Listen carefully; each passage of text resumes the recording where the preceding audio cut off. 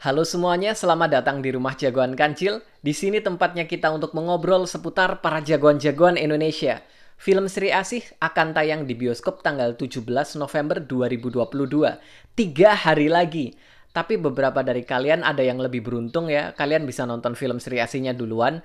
Uh, jadi kemarin, Screenplay Bumi Langit mengadakan acara spesial screening untuk nonton film Sri Asih.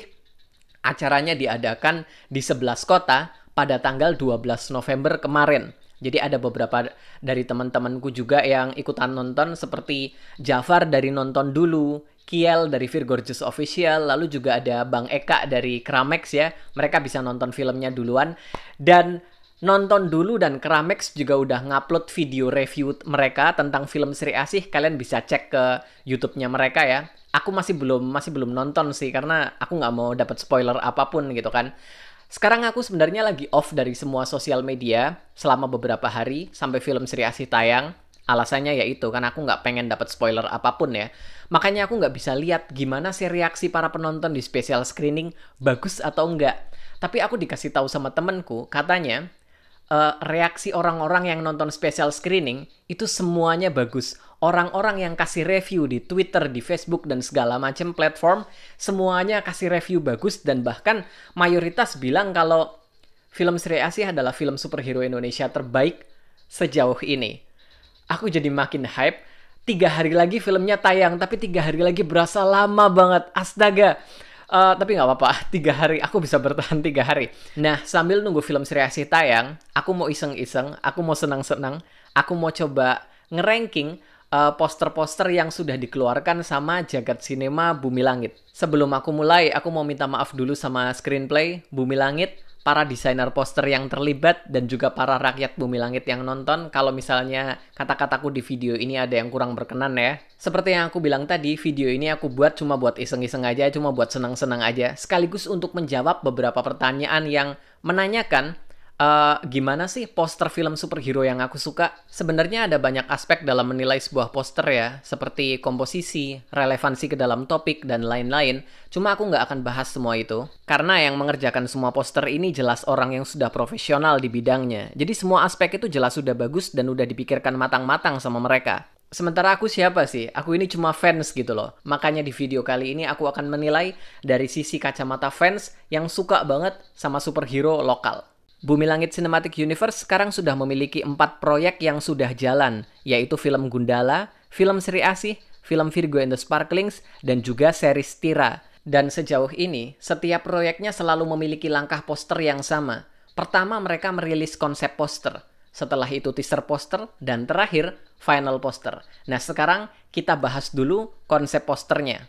By the way, aku nggak akan bahas film Bumi Langit yang belum mulai syuting seperti Si Buta dari Gua Hantu ataupun Godam dan Tira. Meskipun sebenarnya mereka juga sudah merilis konsep poster untuk filmnya, tapi dua proyek ini masih belum jalan, jadi aku nggak akan bahas dulu. Pertama, untuk konsep posternya, kita mulai dari film Gundala. Yang satu ini ya, aku inget banget, ini pertama kalinya aku tahu kalau film Gundala akan difilmkan melalui konsep poster satu ini ini sempat viral dibahas sama banyak orang, dibahas sama banyak media. Aku juga dikasih tahu sama temanku, Gundala superhero Indonesia mau dibuat filmnya, dibuat sama Bang Joko Anwar. Itu waktu itu benar-benar dan aku suka banget sama konsep poster ini sebenarnya karena meskipun nggak menampilkan wujud Gundalanya sama sekali ya, tapi dia tetap menggambarkan suasana filmnya. Film Gundala itu bakalan seperti apa, esensinya seperti apa. Kelihatan banget di film ini kita ngelihat di situ dari sisi kota yang kumuh, lalu ada kerusuhan, lalu di sebelah sana juga ada kota-kota dengan gedung-gedung yang tinggi, lalu di tengahnya juga ada uh, petir Gundala yang menyambar ya. Kelihatan banget film Gundala seperti apa. Kalau kalian udah nonton filmnya, kalian pasti ngeh. Konsep poster ini akurat sama filmnya, ya kan? Nggak perlu nunjukin superhero-nya sih sebenarnya. Tetap yang penting dikasih tease aja. Di situ kita bisa lihat uh, perwakilan Gundala dari petirnya Aku suka banget. Lalu selanjutnya konsep poster untuk film Sri Asih. Ini aku inget banget saat konsep poster ini muncul ya. Ini menjadi bahan teori besar bagi rakyat Bumi Langit waktu itu karena Bumi Langit sempat bilang kalau petunjuk untuk salah satu kekuatan Sri Asih yang dimunculkan di filmnya itu ada di poster ini. Dan kalau kita lihat sekarang kayaknya itu kekuatan selendang ya. Ya kan kekuatan selendang sama kekuatan pukulan karena keduanya sama-sama muncul di poster ini ya. Dan ya, seperti yang aku bilang tadi, nggak perlu juga nunjukin superhero-nya seperti apa. Kalau di konsep poster Gundala tadi, ngasih tis untuk suasana di filmnya. Sementara yang Sri Asih ini ngasih tis untuk kostumnya. Kita cuma dikasih kepalan tangan Sri Asih dengan glove sarung tangan. Di situ ada ukiran dengan huruf S ya, untuk menggambarkan Sri Asih, lalu juga ada selendangnya. Ya, tapi aku tetap lebih suka sama poster Gundala uh, daripada tis kostum. Menurutku aku lebih suka tis suasana filmnya seperti apa karena itu yang paling bikin kita penasaran ya. Filmnya nanti bakalan akan dibuat dengan dengan suasana yang seperti apa dan itu benar-benar ditunjukkan melalui konsep poster film Gundala. Selanjutnya konsep poster untuk Virgo and the Sparklings. Yang satu ini ini kontradiktif sama pendapatku Gundala tadi ya karena ini sangat menggambarkan suasana filmnya seperti apa mereka menunjukkan Riani, Usi, dan Monica, trio dari grup band Virgo and the Sparklings. Mereka sedang berdiri di atas panggung, Riani memegang gitar, lalu mereka menggunakan kostum. Sangat menggambarkan kalau film ini akan diadaptasikan dari komik Virgo and the Sparklings yang ada di jagat revolusi ya, kelihatan banget. Tapi aku kurang suka. sebenarnya masalah kostum sih. Sebenarnya sebenarnya gini, gini, gini, gini kostumnya sebenarnya akurat dari komik ya. Karena kostum manggungnya Virgo ini memang dibuat sama Usi ya.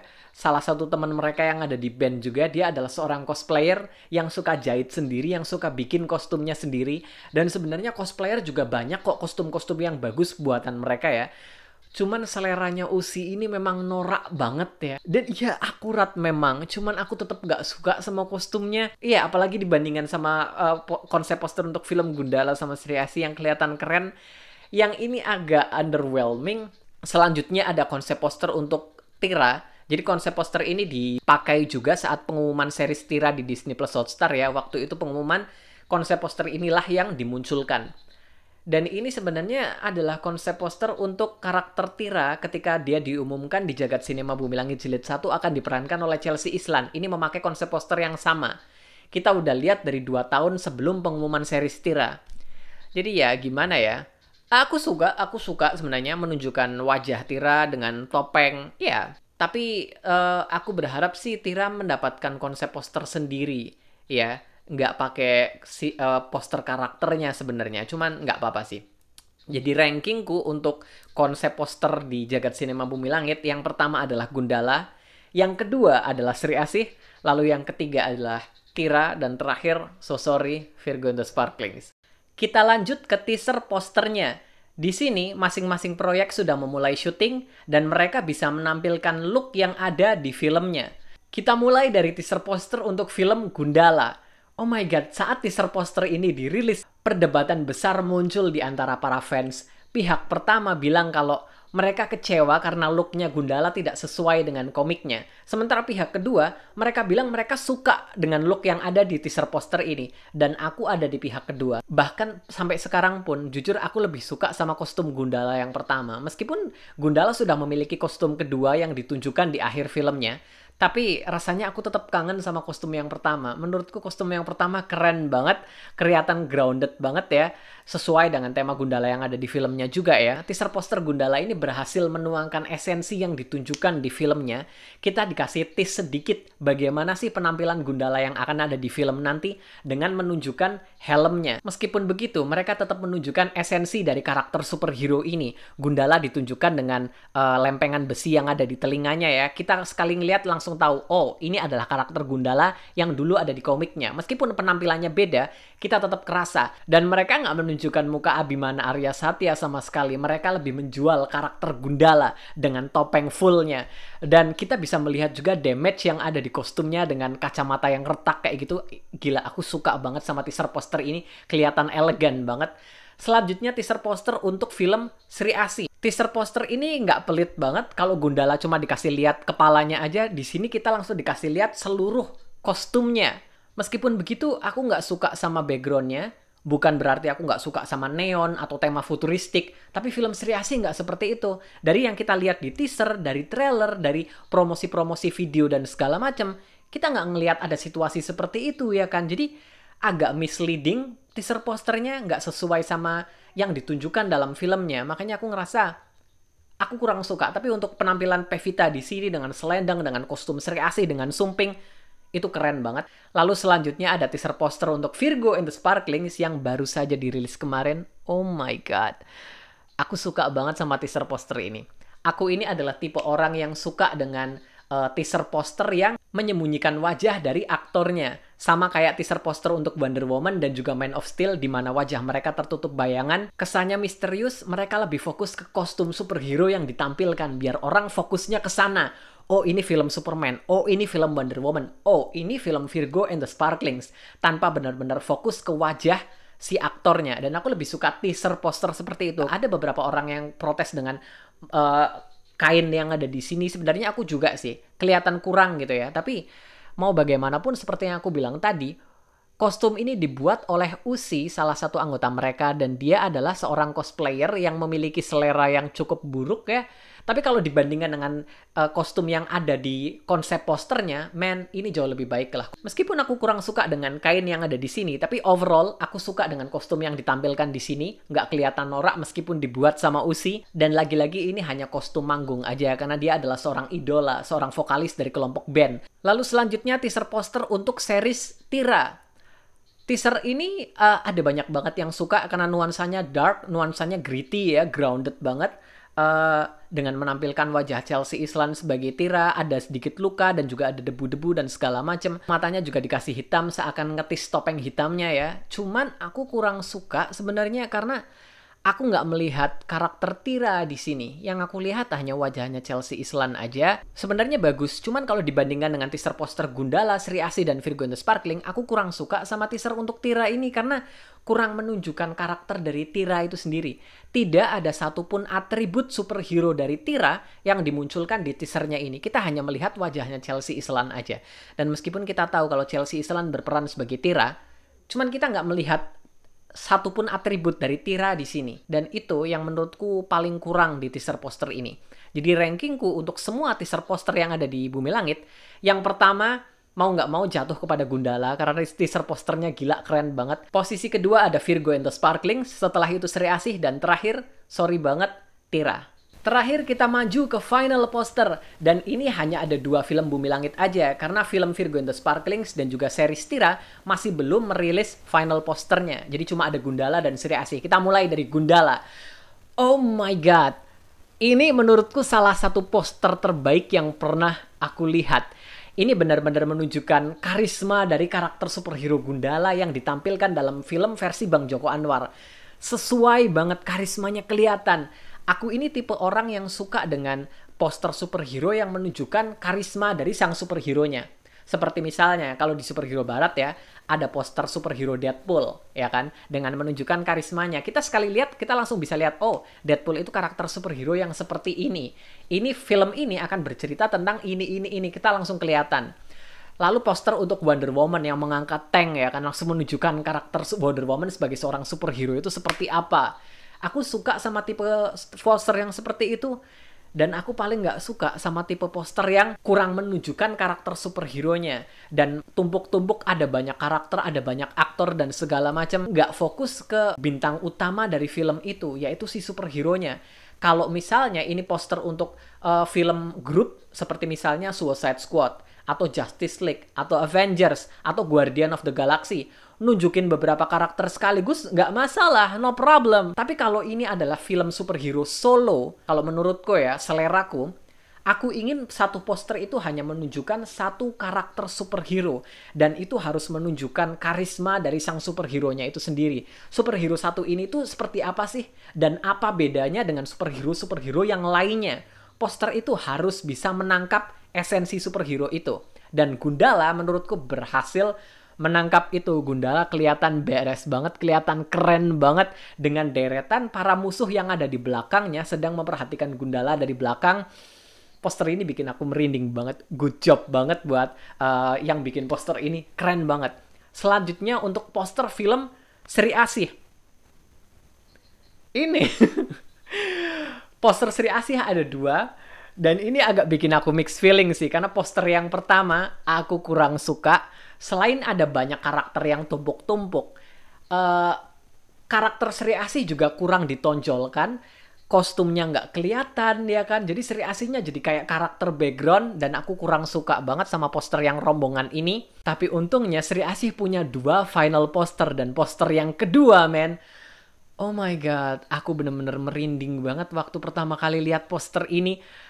Karisma dari karakter Sri Asih kelihatan banget dia bener-bener kelihatan seperti seorang dewi posternya ini benar-benar menunjukkan karakter Sri Asih sebagai seorang superhero itu seperti apa. Buat orang yang suka sama Sri Asih, aku suka banget sama Sri Asih. Aku merasa Sri Asih benar-benar dihormati, benar-benar diapresiasi dengan final poster yang satu ini. Kelihatan beres banget Pevita Pierce di sini. Alana Sri Asih siapa pun namanya banyak beberapa perhiasan dan atribut yang dia kenakan bersinar menerjang api musuhnya yang kita tahu sekarang adalah Dewi Api. Posternya ini berhasil menunjukkan karisma dari karakter Sri Asih sebagai seorang superhero. Dan kalau ranking, meskipun ini berat banget, jujur final poster untuk Gundala dan Sri Asih agak menurutku sama-sama bagus agak sedikit-sedikit ya tapi menurutku poster Sri Asih sedikit di atas Gundala karena gila aku bener-bener merinding parah waktu pertama kali ngelihat poster untuk Sri Asih ini. Tapi Gundala juga keren dan nggak jauh beda lah poinnya. Mereka berdua sama dan aku harap ya untuk dua proyek Bumi Langit selanjutnya yaitu film Virgo and the Sparkling dan juga series Tira, mereka bisa membuat final poster yang sekeren Gundala dan Sri Asih. Ayolah screenplay Bumi Langit, kalian udah berhasil 100%.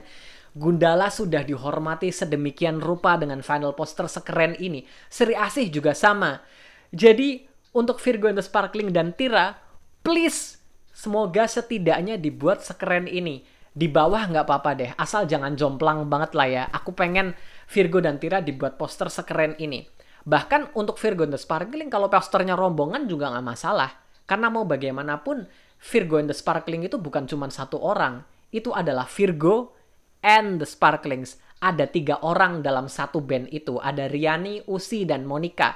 Kalau rombongan nggak apa-apa, asal komposisinya dibuat bagus ya jangan sampai tumpuk-tumpukan ada film superhero barat dengan budget yang luar biasa dengan budget yang fantastis ada banyak banget film superhero barat yang memakai poster yang saling tumpuk mereka hanya memamerkan uh, muka dari para aktornya aja padahal bintang utama dari filmnya adalah si superhero-nya jadi aku harap poster-poster untuk Bumi Langit nggak ada yang kayak gitu ya. Terutama untuk final posternya, please. Karena mau bagaimanapun final poster itu adalah yang dipajang di bioskop. Final poster itu harus bisa menarik perhatian penonton biar mereka tertarik buat nonton filmnya. Jadi ini penting banget. Oke, sekali lagi aku minta maaf kalau kata-kataku di video ini ada yang nggak berkenan. Minta maaf ke Bumi Langit, screenplay, para desainer poster, dan juga untuk para rakyat Bumi Langit. Kalau misal ada pendapat kita yang berbeda tentang poster-poster tadi.